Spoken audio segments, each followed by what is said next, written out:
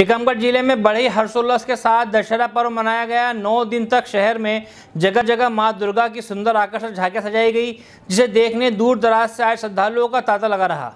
नौ दिन तक लोगों ने श्रद्धा भाव से पूजा अर्चना, हवन कर, जगत जननी माँ दुर्गा की विदाई कर प्रतिमाओं को शहर के महेंद्र सागर में विसर्जन किया।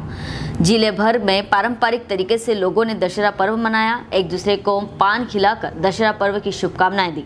इस दौरान शहर के नजरबाग प्रांगण में सार्वजनिक कार्यक्रम के साथ लंकापति रावण के 30 फीट पुतले का श्री राम के धनुष बाण से वध कर दहन किया गया। तत्पश्चात शहर के मुख्य मार्ग से होते हुए माँ दुर्गा की सुंदर सुंदर आकर्षक झांकियों को निकाला गया, जिसमें श्रद्धालुओं ने डीजे पर बज रहे धार्मिक गीतों पर जमकर नृत्य किया, जिसे देखने दूर दराज से आए श्रद्धालुओं का तांता लगा रहा। जगह जगह चल समारोह का स्वागत किया गया। इस दौरान पुलिस और नगर प्रशासन की चाक चौबंद व्यवस्था रही।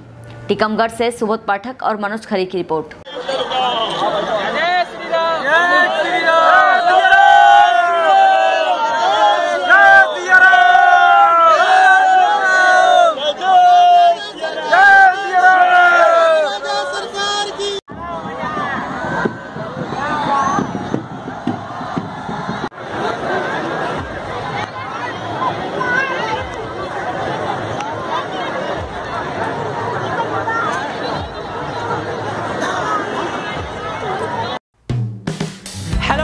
आप देख रहे हैं, हमारा channel S W twenty four news हमारे सारे वीडियो सबसे पहले देखने के लिए आप हमारे चैनल को सब्सक्राइब करें और पास में लगे बेल आइकोन को दबाना बिल्कुल भी ना भूलें।